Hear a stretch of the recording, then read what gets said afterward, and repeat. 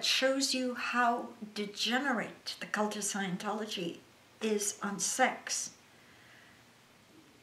is this strange cult like happening that occurred where people's masturbation was read out to entire crews to humiliate that person. Can you imagine?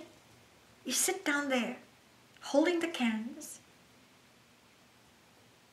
and the counselor says, There, there, there, is there something you're not telling me?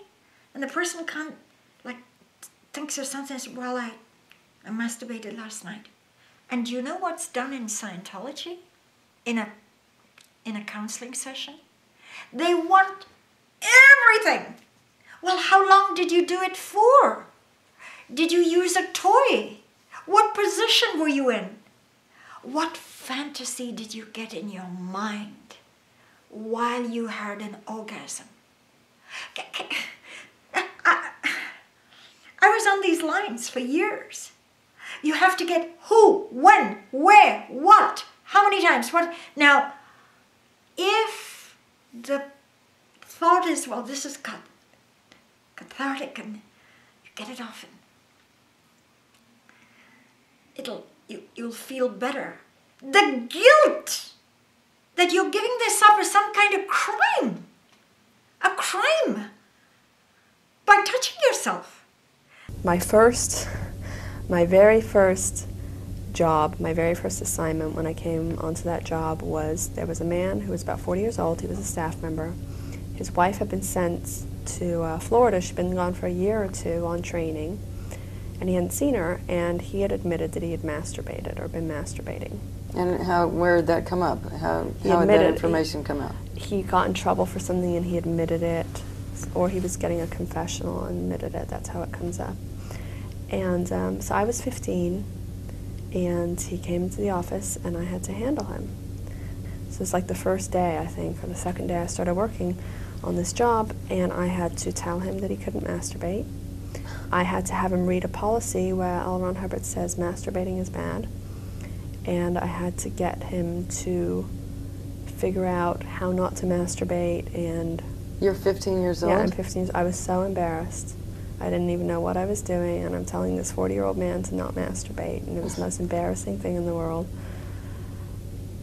No one's allowed to masturbate. Masturbating is a big issue. You get in big trouble. You won't get promoted. No masturbating. You know, even if your wife's gone or, or you're a young kid or anything, no masturbation is allowed. It's really frowned upon. You're considered aberrated. You're considered like messed up if you masturbate. But there's a, a bit of a medieval morality uh, the, in the church about that kind of activity. And it is completely unacceptable. And uh, again, they do consider it their business, and they do consider that you know they have the right to know everything about every single instance of every single time you've ever done anything. And so they'll pull that information and they'll make you feel guilty about it. This is read out. It's, it started off at IntBase and then it got exported down masturbation withholds were read out to 700 people with the person standing up on the stage and the details were read out to show disgraceful conduct. These are the things that you finally realize, oh my God, I was in a cult. I com- I, I've said this before on video at least twice. I got a complaint from an OT7, 300,000, 400,000 given the church, who had to spend $3,000 giving up one masturbation withhold. One.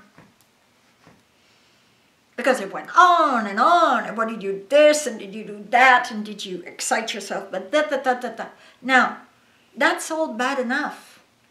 But this is a cult that uses that against you when you leave. I know people that are kind of out, but really just have a little bit of fear of what the church will do with their confessional data if they emerge and speak out. So it's a kind of emotional blackmail. Hey, we got the dirt on you, buddy. Now, if you get through all of that, you've survived, you've been warned and punished against getting pregnant, they kick you out to Mexico or beyond, and you're still with the church, and you have a child. By golly, they're going to get that child when it's 12 years old for the Sea. So they want this child that they absolutely forbid you to have for slave labor. And the indoctrinated in the tunnel, Scientology. I know a woman who called me in the non US three days ago. Her 12 year old is in the Sea Organization. At 12 years old, they have Sea Org slaves.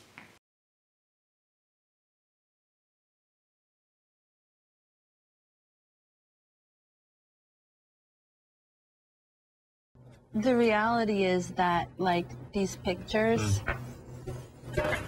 like, you know, these are all field, all rows that we dug, all plants that we planted. This horse corral, I raked every week.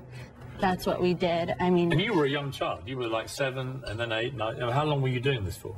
oh, from when I was six until I was 12. Would you call it child labor? Absolutely, it was. How many hours Yes. a day would you have to do this? We did uh, the labor for four hours a day, every day, except on Saturdays. We did it all day.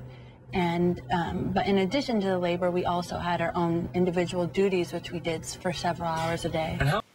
So if you've gone through all of that,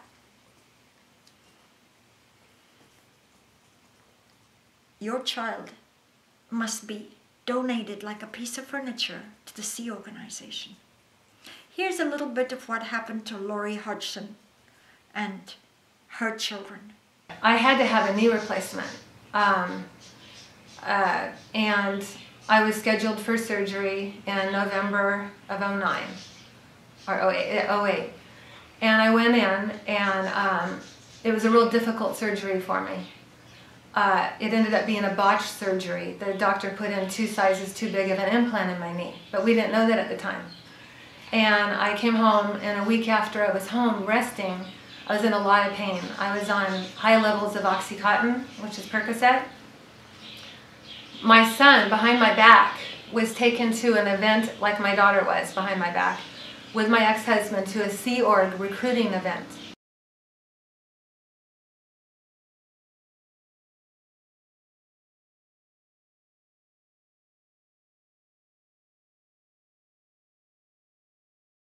um, he comes in, hi mom, and I go, uh, hi Jeremy, and he goes, uh, I'm sorry, I'm just really emotional with this. It's okay. Um, it's just really hard. I'm, I'm reliving the moment, and um, he says, I want to join the Sea Org, and I was in so much pain uh, from my knee, and just at that moment, I thought I'm losing my son. And, um, I already went through this with my daughter, got her back, and now my son says even worse. He wants to join the Sea Org. That evening, here comes Jeremy and says, uh, Mom, I need to talk to you some more. I go, I'm not talking about the Sea Org. Okay. Five minutes later, do you understand, Mom? This is my purpose in my life. Don't you want me to be happy? I'm doing this for you. I mean, you're my mom. I want to I want to help save the planet. This is my calling. This is something I was meant to do. I'm 100% sure, Mom, I want to do this. And he wanted to leave in a couple days. Well, now this sounds like he had been coached. Yes, he was coached all day to come back and see me that evening by the Sea Org recruiters, the, the elite clergy. He was, he was coached by them and his father.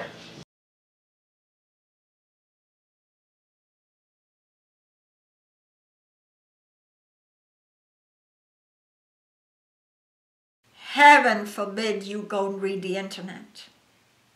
Because that child will completely be cut off from you.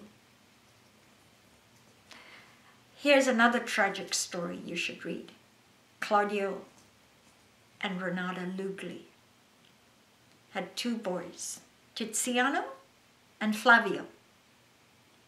Flavio was grabbed by the church as a very young boy, never to be, now shunning his family and treating his mother as if she is the enemy, while he sits at the flag land base working for the church 60 to 80 hour weeks.